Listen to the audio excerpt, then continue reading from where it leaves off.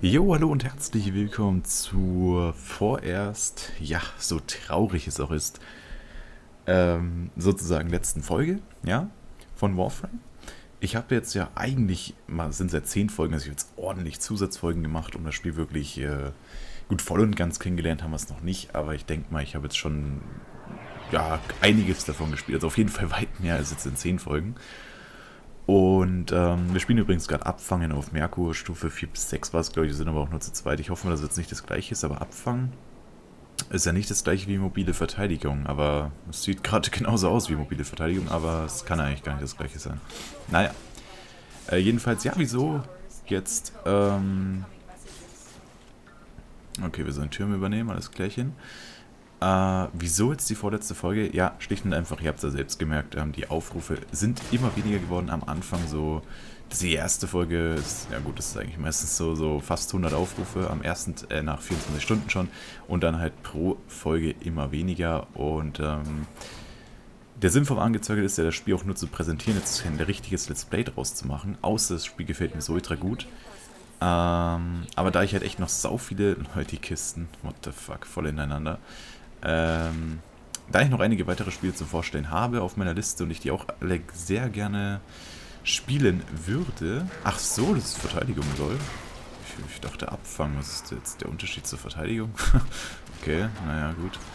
Ähm, ja, bin ich einfach der Meinung, macht es mehr Sinn, wenn ich jetzt, ja, und jetzt kommt's, Warframe so zwei, drei Folgen zwischendurch, zwischen den anderen angezirkelt immer mache, äh, einfach nur so ab und zu mal wieder, ja, damit es halt nicht die ganze Zeit kommt, aber dass es trotzdem weiterhin kommt, weil es macht mir wirklich Spaß, aber dass es ein tägliches Let's Play wird. What the fuck? What the fuck? Was ist denn hier los? Das ist der da hier. Der schießt da mit irgendwelchen Raketen? What the fuck, ey? Hat der einen Schaden gemacht mit zwei Schuss, ey? Holy shit. Naja. Ähm, wie gesagt, finde find ich sinnvoller, so zwei, drei bis maximal vier Folgen oh, die Woche von Warframe. Und dann, wie gesagt, die anderen Angezirkels, die ich noch auf meiner Liste stehen habe, sind unter anderem MMOs, das ein oder andere Browser-Games, soweit ich weiß, auch noch dabei. Star Trek Online ist so, gut, jetzt so ähnlich wie Warframe, kann man jetzt eigentlich nicht sagen, aber ist mehr so in dem Stil, ja, also mehr so zukunftsmäßig, ist ja logisch, Star Trek, Zukunft, ja. Und ja, da gibt es sicherlich noch einige Spiele, die den einen oder anderen hier interessieren. Und wie gesagt, Let's Play war ja gar nicht der Sinn von diesen Nugget Circuits und deswegen finde ich das ziemlich sinnvoll so. Und da sich das jetzt sowieso täglich eh kaum noch jemand vom Anfang angeschaut hat, würde ich auch sagen, ist das für euch besser, wenn es nicht jeden Tag eine Folge kommt, dann kann man sie sich auch öfter mal geben wieder. Denke ich mir zumindest mal. Genau, ansonsten zocken wir jetzt hier noch die Runde fertig. Okay, kommen keine Gegner mehr oder what? Doch, da hinten. Bam. Ist natürlich wieder... Die Gegnerstufen sind natürlich wieder ziemlich low, ist ja logisch. Wie gesagt, Stufe 4 bis 6 war es, glaube ich, sind die hier. Also, also für Stufe 4 bis 6 ist die Mission oder 3 bis 6 oder so. Also ziemlich low, verständlicherweise. So. Ja, ich habe keine Ahnung, warum ich gerade nur noch im Nahkampf kämpfe. Macht eigentlich gerade ziemlich Bock. Ach, das ist wieder so ein fetter. Ah. Der ist irgendwie gebufft oder so. Keine Ahnung, was ist da los. LOL, Diamanthaut. 7,5% Strahlungswiderstand. Okay. Das, den Mod habe ich auf jeden Fall noch nicht, aber es sah so aus, als wäre für einen Excalibur. Und für den habe ich ja eigentlich genug Mods. Bräuchte eher wieder welche für die Braton, aber für die kriege ich einfach überhaupt keine Mods. Da habe ich mittlerweile, glaube ich, 15 oder noch mehr Plätze frei, also das ist so heftig. Da muss echt nur was her. Ja. Ich habe natürlich keine Lust mehr Platinum zu kaufen, da kann man sich auch Mods holen und so. Ja, habe ich jetzt nicht wirklich Lust drauf. So, kommen keine Gegner mehr oder what? Hm. Sieht nichts aus. Oh, da unten liegt noch was. Ah, nice. Und da kommen auch schon wieder die Gegner. Oh, noch ein Mod. Statuschance. Okay, Heldenmut hatte ich auch noch nicht. Tatsächlich. Hier ganz neue Mods gedroppt. Nice. Ist ja mal was. Auch wenn es wahrscheinlich keine für Dingens sind. Oh, nice. Level 16 Excalibur. Super Sprung Level 1. Alles klar. Okay, noch ein Mod. Nice. Oh, okay, wir sind fertig. Töte alle verbleibenden Feinde. Äh, wie jetzt, wie ich in den Kampf zurückkehren? What? Wie entscheide ich das denn? Ah, ah, okay. Ja, oh, das ist jetzt natürlich ein bisschen blöd. Eigentlich wäre ich schon für... Ja, mach mal Kampf, komm. Sind wir mal so Triad-mäßig drauf. Komm, Imhoteps. Zock mal noch ein bisschen. Komm, go. Ah, schade, der verzieht sich.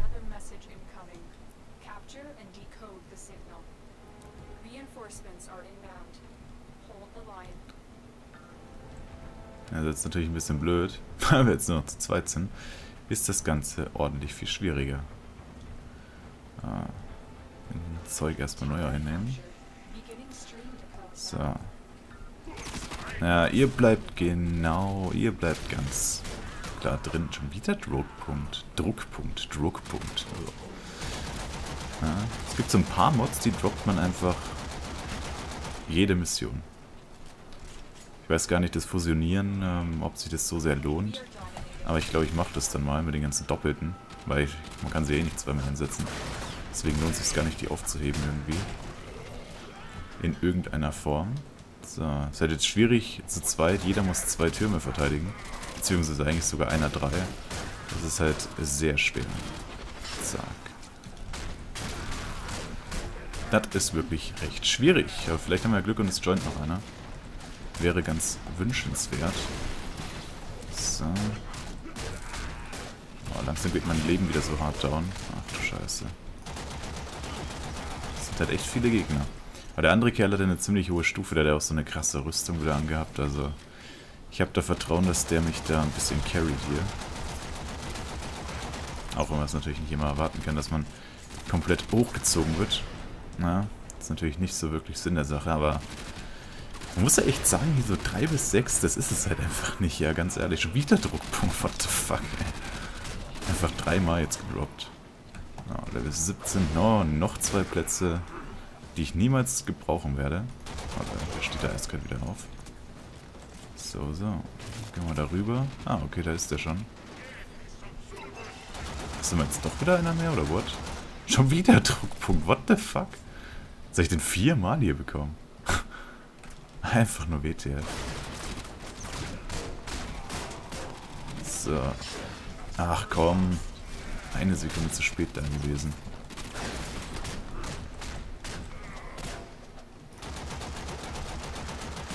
Wenigstens sind die Gegner recht schnell tot, aber viel Schaden machen sie trotzdem. Das sich irgendwie widerspricht leicht, die beiden Faktoren, aber egal. So. Ich habe auch gemerkt, wenn man viele Fähigkeiten einsetzt, dann, äh, oh Gott. Oh Gott, jetzt ist, jetzt ist, jetzt ist gleich vorbei, jetzt bin ich gleich tot. Wenn man viele Fähigkeiten einsetzt, dann, ähm, kommt der Excalibur schneller Level ab. Das äh, habe ich am Anfang nicht so ganz geblickt. Da steht ja auch immer so 25 Fähigkeiten und so. Ah, da bin ich down. Vielleicht belebt er mich wieder. Da kriegt man nämlich die XP davon, ja. Nur ich neutralisiere trotzdem Bravo, wo ich tot bin. Nice, der wiederbelebt mich. Geil. Ich hasse es, wenn ich sterbe und eine Wiederbelebung verbraucht. Das äh, kotzt ultra. Ja, aber wie gesagt, hatten, hatten wir es gerade gesehen. Der Kerl, ähm, High-Level-Spieler over 9000. Von daher habe ich da eigentlich gute Hoffnungen, dass wir das mit dem packen. Oh lol. Oh lol, jetzt kommen diese Schildpisser, ey. Die hasse ich auch so sehr. Ohne Witz. Zack. Ich mache hier halt einfach fast gar nichts. Ich bleibe nur bei dem einen Punkt und bei dem sterbe ich dann auch noch. GG. Wir kontrollieren alle. Vier? Es sind doch fünf. Oder? Ne, es sind vier. Ich habe jetzt What? Das sind echt nur vier, Leute. Ich bin echt die ganze Zeit davon ausgegangen, dass wir ähm, fünf haben. Naja, gut. So, alle verbleibenden Gegner platt machen. Das sollte jetzt nicht so schwer sein. Nochmal Druckpunkt. da ist noch einer. Druckpunkt. Oh, oh. Jetzt haben wir den sechsmal. Und... Oh, Verderben der Griner. 5% Schaden gegen Griner. Okay, nice. Ja stimmt, ich sollte mal rumlaufen, ne? Weil die Mods, die der sozusagen gedroppt hat, die habe ich ja noch gar nicht aufgesammelt. Ähm, hier sind noch Credits. Ah, oh, schade. Ja, müssen wir leider rausgehen. Beziehungsweise ich gehe raus. Ich weiß ja nicht, ob der Kerl jetzt einfach eiskalt noch weiter alleine macht. Ähm, jo, auf jeden Fall einige Mods gedroppt, ey. Also zu viert, glaube ich, ist es schon relativ einfach. Also, wir waren ja Anfang, anfänglich zu dritt jetzt nur noch zu zweit. Also ich glaube, wenn man zu viert ist, dann geht es schon klar. So. Eiskalt sechsmal den einen Mod gedroppt. So. Ähm, wow, wie viel wir bekommen haben da. Also Druckpunkt auf jeden Fall einige Male. Diamanthaut, Panzerbrecher. Wow, da haben wir echt einiges bekommen. Ja, schauen wir mal, ob wir da irgendwas auch gebrauchen können für die Braton. Wäre halt mal echt ganz nice. Rang 19 ist die, ey. Ups. Kann ja wohl echt nicht wahr sein. So, ja, tatsächlich. Na, also. 5% Durchschlagschaden, nice. Braucht die irgendwo weniger? Nope. Nope. Und Verderben der Griner. Nice. Okay, und jetzt könnte ich theoretisch das auch noch reintun, aber habe ich natürlich schon drin. Ja. Trotzdem nice. Äh, Durchschlagschaden ist ganz cool und Griner. Ähm, Schadensbonus ist, glaube ich, auch ganz nett, weil, wenn ich mich jetzt richtig erinnere, kämpfe ich fast immer gegen Griners. Von daher passt das. Dann schauen wir nochmal hier. Ähm, okay, haben wir nur ein... Achso, ja, stimmt. Klar, Stufe 16 aufgestiegen, 16 Kapazität. Okay, was hätten wir denn da? Schildkapazität, Sprintgeschwindigkeit, Strahlungswiderstand und Ausdauerregeneration. Das haben wir eh schon. Ja gut, ja, das passt eigentlich. Ja, hier könnten wir was einsetzen. Hm. Achso, kamen nur zwei Dinger. Ja, da würde ich sagen, Reservemagazin. Hauen wir mal rein. Und bei dem Stäbchen, da haben wir fünf frei. Hier können wir tatsächlich mal wieder was Neues reintun. Äh, tatsächlich könnten wir hier sowas hier reintun. Obwohl es sechs hat, weil hier wird es nur fünf verbrauchen, genau. Nee, sogar nur drei, nice. Ja, es bringt leider nicht so viel. Ähm, wobei, das 2%, was heißt denn Statuschance? Was ist Statuschance? 2,5% Statuschance. Okay, keine Ahnung, was das sein soll. Statuschance, dass sich der Status regeneriert oder was? Okay, damit kann ich jetzt leider nicht wirklich was anfangen. Ähm, Moment mal, wenn ich das jetzt raus tue, das verbraucht dann 0, oder? Ne, 1. Okay, also das hier lohnt sich am meisten da reinzuhauen und dann können wir das auch noch reintun. Aber jetzt 5% extra Kälteschaden, was uns wahrscheinlich nichts bringen wird, weil, da wir gar keinen Kälteschaden machen, aber ich gehe jetzt einfach mal davon aus, dass man dann überhaupt erstmal Kälteschaden macht. Ja, nicht zu dem Kälteschaden, den man schon hat, noch mehr Kälteschaden, sondern dass man einfach so Kälteschaden macht. Hoffe ich jetzt mal, weil sonst wäre es ziemlich blöd, weil dann wäre das ganze Ding hier ziemlich useless. Ähm, haben wir sowieso wieder zweimal. Schmelzender Einschlag, Hitzeschaden. Ja, ich glaube, ja, Hitzeschaden zum Beispiel würde ich mir halt für das Hitzeschwert aufheben, aber das Problem ist halt, bis ich das mal bekomme, vergehen halt noch 100 Jahre. Also es, das Problem ist halt, ich habe halt alles schon 100 Mal, 100.000 Mal könnte ich das jetzt so schon bauen eigentlich. Also gut, zweimal.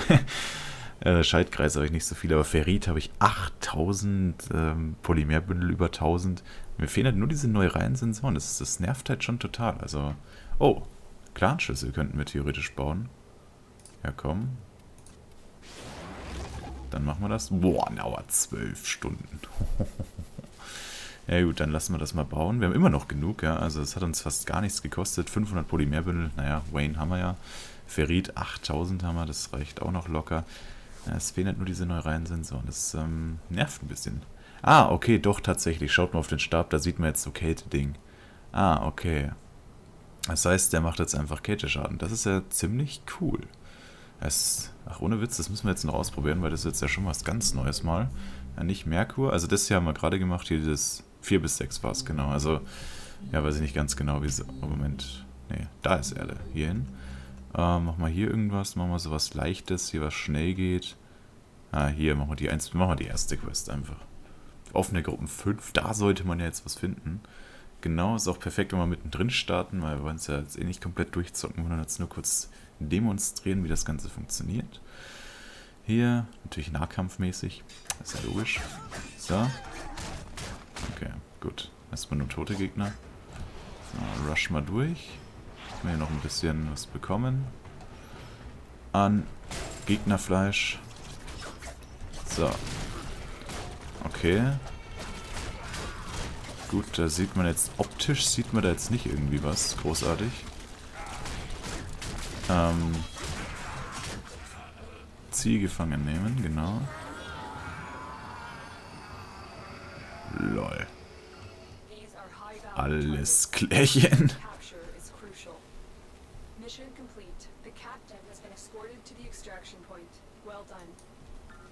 Okay, ich kann mich nicht mehr bewegen. Ich, ich kann... Ah, jetzt. Äh, ich konnte mich die kurzzeitig jetzt nicht mehr bewegen. Ja gut, also man sieht optisch nichts, ja, aber es macht, also es ist auf jeden Fall, also am Stab sieht man es ja, da ist was anders, also es muss irgendwas bewirkt haben, ja. Aber wir frieren die Gegner jetzt nicht irgendwie ein oder so, also das habe ich jetzt zumindest noch nicht gesehen. Wir haben halt nur 15%, das muss man natürlich dazu sagen. Ja, Cash schnitzelt halt immer mit auf die Gegner, es nervt halt so sehr. Vielleicht wäre er alleine doch besser gewesen. Komm, ja, aber nee, macht wahrscheinlich einfach nur... Ist wahrscheinlich einfach so wie, wie extra Schaden halt einfach. Irgendwie laufen wir komplett falsch, kann das sein? Ja, wir müssen hier links. Ähm, wahrscheinlich macht es einfach nur wie, als wäre es 15% Schaden halt, ja. Also nicht Eisschaden, sondern macht halt einfach nur mehr Schaden. Gehe ich jetzt einfach mal davon aus. Weil man optisch halt echt nichts sieht und so... Ich glaube, ich kill die schneller, aber das liegt wahrscheinlich auch daran... Ah, nee, doch nicht. Nee, passt schon. Ja, nee, ich kill sie halt einfach schneller, glaube ich. Stand da einfach nur da und hat nichts gemacht. Der wusste schon, dass er keine Chance hat.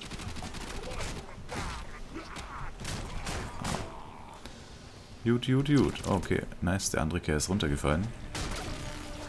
Das ist ja gar nicht mal so schlecht. So, vielleicht... Wow, habe ich den gerade one-hitted? Den auch? Okay, das ist neu. Das habe ich vorher auf jeden Fall nicht auf die Reihe bekommen. Das weiß ich noch ganz genau. Ähm, wo müssen wir hin? Hier links. Jo, okay. Also die Hunde one-hittet man jetzt. Alles klar. Wahrscheinlich liegt es einfach nur daran, dass ich jetzt allgemein eine Stufe so weit aufgestiegen bin. Weil ich habe die erst gestern oder vorgestern mal wieder gemacht. Da konnte ich sie auch nicht killen. So. Also mit einem Schlag. Also da waren sie wie immer saustark. Keine Ahnung. Naja. Also auf jeden Fall sieht man es optisch am Stab, aber nicht an den Gegnern, wenn man sie angreift damit. Also es ist ein bisschen komisch. Ja, das, äh, wie genau das jetzt meinen Kampfstil beeinflusst, kann ich euch jetzt leider gar nicht wirklich sagen. Vielleicht weiß es ja sowieso einer von euch. Dann äh, könnt ihr mir da weiterhelfen. Ich wüsste jetzt auch keine Ge Oh, nice. Nice. Noch einen schönen Mod gedroppt. 15% Crit-Chance. Immer gut. Ähm, ja. Hätten wir das jetzt erledigt. Nice, ja. Die erste Mission, die ersten Missionen, die gehen immer noch so ultra schnell. Das ist ja das Geile dran. Deswegen macht man die auch so gerne. So, um Sachen anzutesten. Und man kriegt ja sogar noch Sachen. Also Blut, Credits und den ganzen anderen Stuff. Und Mods. Aber XP gibt es halt so gut wie gar keine. Der Rubedo. Ja, wobei Rubedo ist gar nicht mal so schlecht. Ja. Okay, ich war fast noch besser als der Keller, wo ich mittendrin gejoint bin. Krass. Naja. Gut. Naja, jedenfalls, ähm, erstmal nochmal hier fett Werbung machen. Wenn ihr Spiel auch spielen wollt, in der Beschreibung ist der Link. Und in meinem Kommentar, achso, der Decoration verlassen passt. Ähm, genau, also wenn ihr Bock auf das Spiel habt, würde ich mich freuen, wenn ihr euch über den Link re registriert. Downloaden könnt ihr es auch über Steam. Das ist, ähm, ja, ziemlich nice. Und so, ja, Fazit habe ich zwar eigentlich schon gemacht, aber nochmal um zu sagen, ich finde es wirklich ultra geiles Spiel. Für Free-to-Play ist es ein hammerkrasses Game. Die Grafik ist ultra genial. Ja, ich kenne 100 Spiele, ich, ich kenne 10.000 Spiele, die schlechter aussehen und sau viel Geld kosten und auch letztes Jahr rausgekommen sind oder vorletztes Jahr. Ja, auch ziemlich neu sind und, und schlechter aussehen wirklich. Man muss sagen, der Pay-to-Win-Aspekt ist da. Man kann sich sehr viele Sachen Zumindest am Anfang. Wobei gut, so sehr am Anfang bin ich jetzt eigentlich auch nicht mehr. Man kann sich sehr viele Sachen wirklich nur für Platinum kaufen. Man kann sich die ganzen Mods für Platinum kaufen und so weiter und so fort. Also man kann schon ordentlich reincashen, um Vorteil zu erlangen. Und das ist wirklich anscheinend ziemlich groß, dieser Aspekt. Ich weiß nicht, wie es später ist, wenn man jetzt richtig High-Level ist, ob man sich das ganze Zeug manchmal kaufen kann, auch selbst herstellen kann. Das weiß ich leider nicht. Aber ich gehe jetzt mal davon aus, das meiste wahrscheinlich nicht. Weil Erstens wird es ja im Shop nicht geben für Platinum, wenn es das auch immer im Late, also wenn du seit 100 Stunden gespielt hast, das Spiel, dass es dir dann auch selbst einfach so herstellen kannst, denke ich mal nicht, dass es geht, weil sonst wäre der ganze Shop sinnlos, ja. könnten ja einfach alle sagen, hey, casht nicht rein, sondern wartet einfach nur, spielt einfach eine Weile, dann könnt ihr es euch auch umsonst herstellen. Das denke ich mal jetzt eher nicht. Genau. Und ansonsten, wie gesagt, kommt jetzt halt noch so immer mal zwischendrin, immer, immer einfach, wenn ich Bock drauf habe, wieder so eine Runde zu zocken. Ich werde es so ähm, offline auch noch ein bisschen spielen, nicht täglich wahrscheinlich, so wie es jetzt die letzten paar Wochen war, aber auf jeden Fall auch alle paar Tage mal wieder eine Runde und dann, ja, leveln wir hier weiter hoch. Geht ja eigentlich noch ganz schön voran hier. Um, wird halt jetzt immer schwieriger, noch was hochzuleveln, aber ich tue mein Bestes und ja, dann würde ich sagen, sehen wir uns im nächsten Angel-Circuit. Was es noch genau wird, weiß ich noch nicht. Eigentlich ist Fokus auf Star Trek Online, aber das muss ich noch patchen, das dauert ewig, das Spiel ist gigantisch groß. Deswegen werde ich eventuell, bis ich das irgendwann mal runtergeladen habe, beziehungsweise runtergeladen ist es schon, es muss immer äh, Patches aktualisieren, keine Ahnung, das dauert 100 Jahre. Ja, ähm, bis ich das habe, äh, werde ich eventuell noch was anderes einschieben, vielleicht noch ein Browser-Game oder so von der Liste, was äh, jetzt keinen Download-Bedarf hat. Und ja, das werden wir überraschen, was das nächste ist. Wird auf jeden Fall morgen, spätestens übermorgen kommen. Und jo, würde mich freuen, wenn ihr da auch reinschaltet. Und bis zum nächsten Mal. Macht's gut, haut's rein und ciao, ciao.